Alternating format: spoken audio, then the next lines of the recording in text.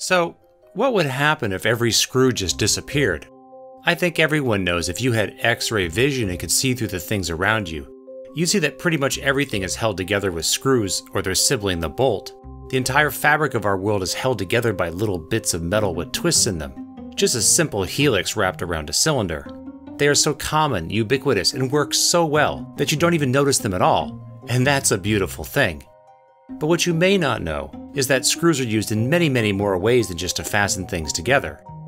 If screws just suddenly disappeared, we'd have way more problems than things just falling apart. I don't want to spoil the fun, but over the next few videos I'm making about screws, I think you'll see the humble helix is amazingly important and profound in ways you've probably never imagined, and affects you more than you know.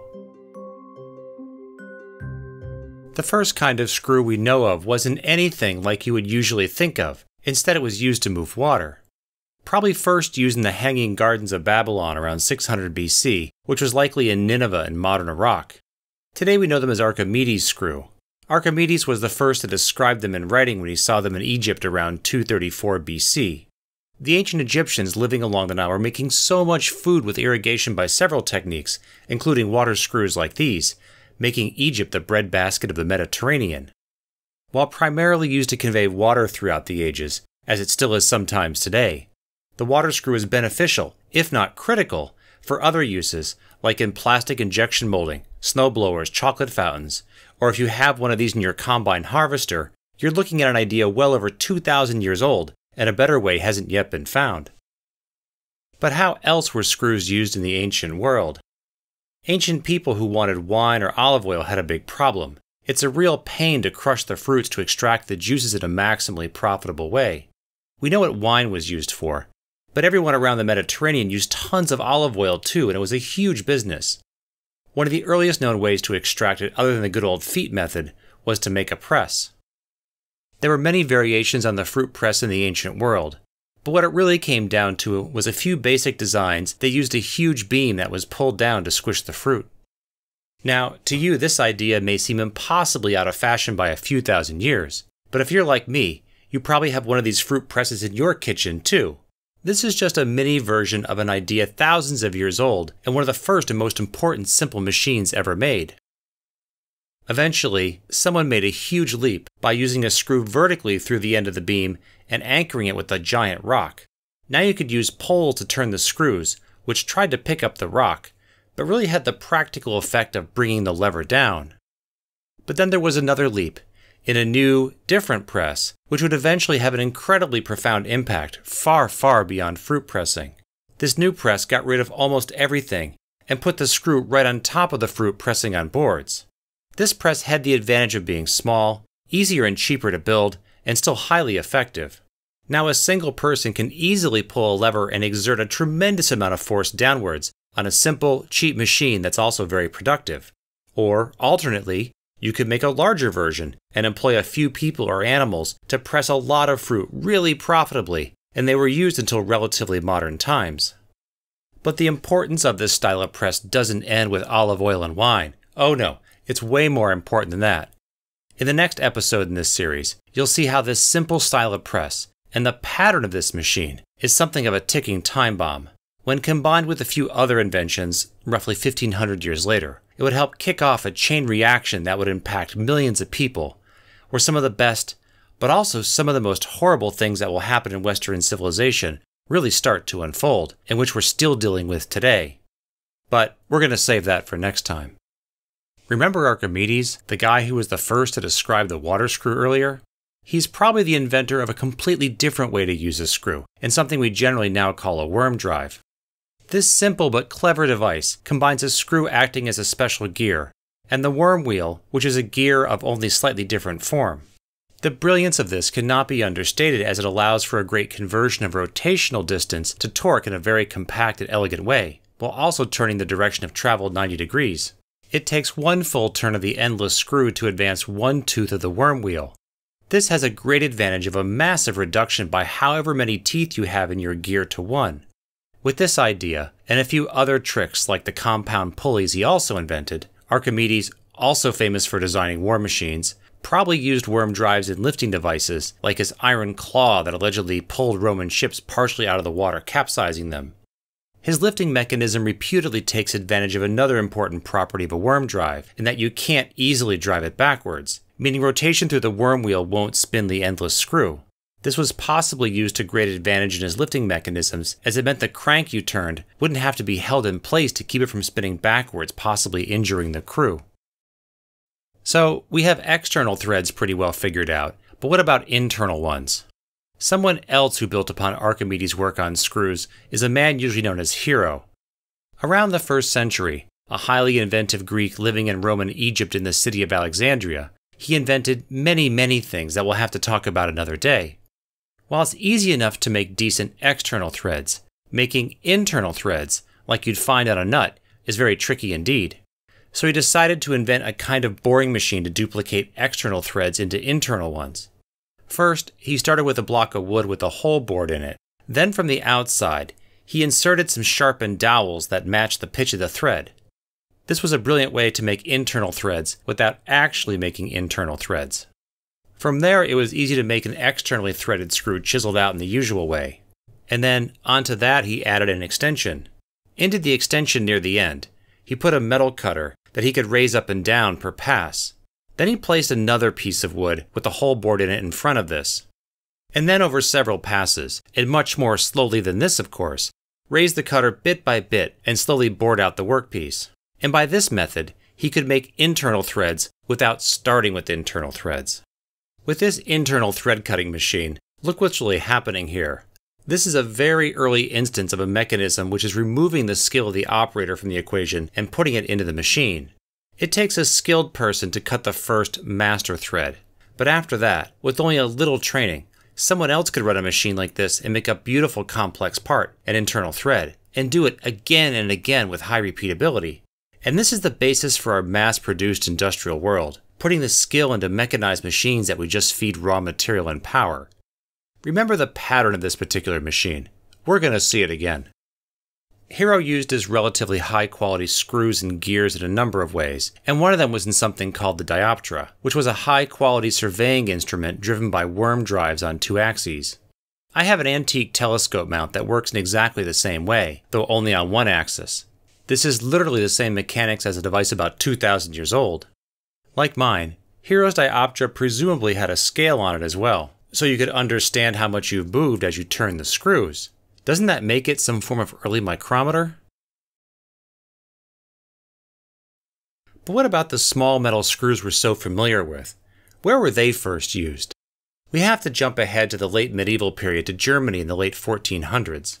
The Germans of this period had very advanced mining, metalworking technology, and highly skilled artisans. It was probably here that metal screws and bolts were first semi regularly used as fasteners, showing up in 15th century German plate armor as one example. So, hey, real talk. I have to step aside here and discuss an important topic.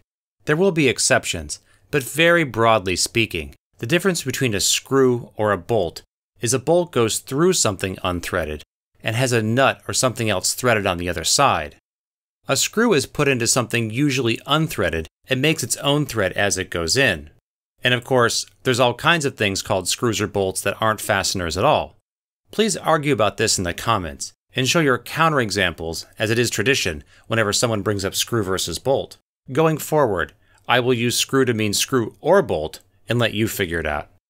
Okay, back to armor. Screws are more likely to be found in high quality tournament armor rather than the field armor worn by the lower ranks. Typically, rivets or other kinds of fasteners were used in most places, and screws only were truly needed. We actually don't know much about thread making in these times. Sometimes the screws were just driven through the armor plate in a self tapping manner, usually into areas which had been thickened so it would have greater bite for the threads. So, if you have screws, you have a screwdriver, right? Actually, no. Because screws were so uncommon at this point, why bother to make a dedicated tool? Plus, a screwdriver is such a simple device. They were just added onto the ends of handles on other tools. While you might think your multi tool is a new idea, it's actually been around for many hundreds of years. Also, from around this time, there is a remarkable German document from around the 1480s. often referred to as the medieval house book, something of a how to manual for lords and knights. But it's also proudly showing many of the wonderful drawings of machines, processes, and devices, often with the new crazy technology, the screw. Although we can't see the screws, it does show the kinds of armor that would have had them. And in the other drawing, screws start popping up everywhere. One remarkable example is screws being used to regulate the angle of cannons. Much like Hero used screws for precision adjustments in his dioptra, now screws are being used to angle cannons on two axes. I've not been able to find any other illustrations of cannons ever actually being made like this, so if someone has a reference, I'd love to know more about it. And while we'll talk about this in more detail in a bit, screws take a bit of an ominous turn, showing up in various tools you'd keep in your dungeon. What's especially remarkable is they bothered to draw a small screw that appears to be slotted, which tells you it's important to them. This implies a screwdriver, but one is never shown. Also, this drawing clearly shows a wrench to be used to turn nuts, both square and hexagonal on their torture instruments. And then, out of nowhere it seems, like a spaceship coming down from the sky. No, not the guys in ridiculously pointy shoes showing some of the ways to assault a tower. But on the other side of the page, where a surprisingly complex screw cutting lathe is shown. The lathe is shown in two parts. The first is the frame, which includes the master screw and the workpiece to be cut, here with some threads already cut in it. And then below it, the cutting part of the lathe is removed so we can see it more clearly. It fits into the frame of the lathe in the slot under the master screw in the workpiece, held in place by a wedge. And look what a giant leap this is. Not only do we have a removable cutter, a tool bit like is still used in lathes today, but also a cross slide regulated by an internal screw. Remember a Hero's machine for cutting internal threads? Well, this is a highly refined version of the same idea, but for copying external threads with a bunch of modern stuff thrown in. Imagine how when you turned the crank, the master screw would push the workpiece forward past the cutting tool, copying the thread of the master.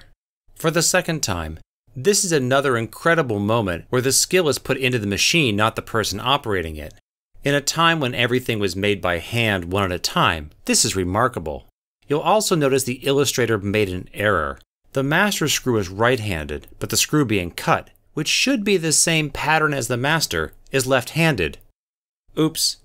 And for a second time, remember the pattern of this machine. We're going to see it again.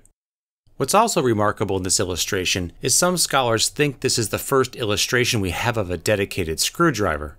Well, looking at it closely, I think this is more likely like a hex nut driver, like this one where it's recessed on the inside. I think it clearly was meant to work the end of the cross slide to advance the cutting tool. Still, this is quite possibly the first illustrated dedicated hand tool for turning a screw. There's another spectacular German document from a little later, known as the Löffelholz Kodex. It's full of truly amazing, skillfully hand drawn images from around 1505, with what seems like screws popping up on almost every page. Well, when they weren't messing around balancing items off tables. The skill of the German craftsmen of this time is really put on display here, and screws start popping up in all sorts of new places, like these fancy workbenches showing screws being used for work holding, or these absolutely beautiful compasses and calipers that must have used very finely crafted screws. Like in the medieval house book, we briefly saw some of the tools that you can use to deal with people you don't like. There are, of course, countless ways to inflict pain upon people, and humans have been quite creative with this. And the screw allowed for new, simple, compact methods for inflicting pain. In this document, we see a number of screws employed for crushing various body parts. With thumb screws, you could inflict intense pain on someone, as fingers and thumbs have lots of nerve endings. Small, simple, something you can just pop in your pocket and highly effective. Thumb screws proved very popular and several versions are shown in this document. When you hear the popular expression, turning the screws on someone, these are the screws they're talking about. If you can read 15th century German script like this, I'd love to hear from you. I'm sure there's a lot I'm missing on many pages because I can't read the script. Thanks to the relatively recent import of the Chinese invention gunpowder, we start seeing firearm technology illustrated. This wheel lock mechanism to ignite the gunpowder was complicated to manufacture, borrowing heavily from the other cool technology of the time, mechanical clocks. But what we care about today is the four screws that held it in place. With the violent and strong forces of a firearm, small screws bite into wood and hold better than a small nail would. And although the first metal screws and bolts were possibly used in armor, like mentioned earlier, those were not commodities. Probably the first really wide use of small metal screws at large scale was as fasteners in firearms, which kicked off industries in Germany and France in particular for screw making specialists. These are obviously very fancy guns, but it was soon common for firearms of all kinds to have screws. Remember Hero's internal threading machine, which may have been the first machine to make internal threads? Or the screw cutting lathe from the house book? They basically had a handle on one side which drove a master screw, which moved a workpiece past a cutting tool copying the thread. About 500 years later, this exact pattern of a machine would be used again, but for a very different purpose, and one you owe a great deal of debt to. In 1877, a man in Menlo Park, New Jersey, used that same machine pattern not to cut screws per se, but to make grooves into a tinfoil covered cylinder. Mary its fleece white as snow, and everywhere that Mary went, the lamb was sure to go. That man was, of course, Thomas Edison, and he had invented the first machine which could record and play back sound. Of all the inventions he would have a part in, he was extremely proud of it and said this was his favorite. Though I have no clue if he was directly inspired by those earlier machines, I think it's more likely just an elegant solution to a similar problem. For various reasons, Edison would eventually lose out to the flat circular records we know today. But his cylinders did have one big advantage you could record onto them, unlike the flat records, so these machines lived on until the 1950s. And you know what? I happen to have one. And I didn't just buy it for this video either. I bought this when I was a very young man and was fascinated by its beauty and what it stood for, and it's been on a shelf wherever I've lived for decades. This one was made probably in the late 1920s. At first, mine doesn't look like Hero or the Housebooks lathe, or even Edison's first prototype models. Until you turn it around, and then, aha, there is the master screw to guide the cut of the helical groove. It's the same exact principle as Hero and the Housebook screw cutting machines, just slightly modified to be folded back on itself connected by an internal clutch. In the decades I've owned it, I've never tried to use it. Maybe in a future episode? So there you have it, the first episode on the history of screws. We've seen screws used in many different ways, from raising water to fruit presses, war machines, the worm drive in precision measuring, then into armor, firearms, torture devices, early screw cutting machines, guns, to the machine that brought us recorded media, which is the oh so distant ancestor of you listening to me now. There's so much more to the history of screws, though, as they've been used in so many other ways. Thankfully, we do have screws as fasteners, though, and I think we're all happy that they can hold the world together. If you want to know more, the next stop on your journey is to hit the thumbs up, subscribe, and bell buttons if you haven't already. It really does help get the word out and helps keep me going. Did you learn something today? What do you think about screws? What screws are around you right now? Let me know in the comments. Thanks for watching. I'll see you next time.